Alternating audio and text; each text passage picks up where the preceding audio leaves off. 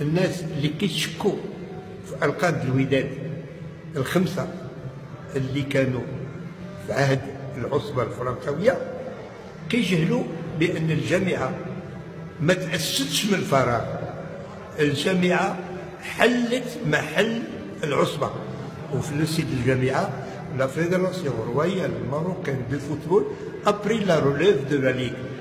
اذا حلت المحلة.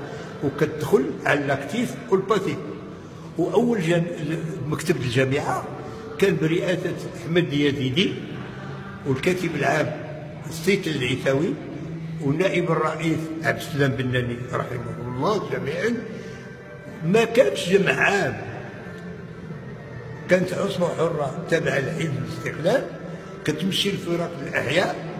جا الاستقلال من بعد تأسيس الحكومة 55 أسسوا الجامعة داروا الجامعة ولكن الجامعة ما تبداش من الفراغ باللي كيثبت كلامي بأن الجامعة هي استمرار العصبة باللي بغاو ينظموا بطولة المغرب والمشاركة في كأس الاستقلال بداو الفرق اللي كانوا في العصبة الحرة هما الأولين الإقصائيات وتبعوهم الفرق اللي كانوا عند العصبة الفرنسوية.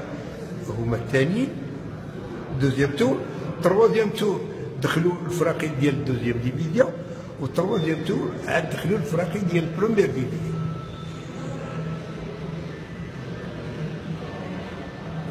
الجامعة ما عمرك وذاك الناس اللي كيقولوا هكاك فين كانوا هاد الأبطال ديالنا العربي؟ من مبارك فين لعب والمحجوب فين لعب وعبد السلام فين لعب والخميري فين لعب؟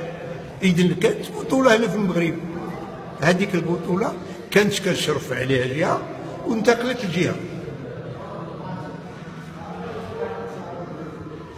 كاينين بعض الناس اللي كيقولوا الوداد شاركت في كأس بن عرفة.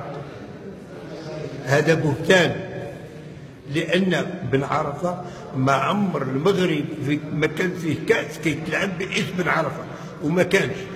والدليل على كلامي وصدق كلامي أن الفراقي اللي كيشكوا وكيتهمونا بأن المشاركة في كأس بن عرفة حتى هما شاركوا فيه إذا كان. إذا كان موجود هم يشاركوا فيه. لأنهم كانوا في deuxième division.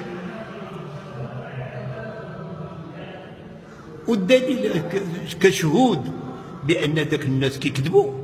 باقي حسن اقصري كان لاعب في ديك الفترة في الفتح باقي الحسين لاعب الفتح كان هو في ذاك الفترة لعب في ذاك باقي حميد دوش باقي آه عبد الله السلطي باقي البصير لاعب القديم باقي واحد العدد لعابه اللي عاصروا ذاك الوقت وعيشوا فهذوك الناس كيبغيو يصغروا الولاد ولكن الولاد كتبقى أكبر منه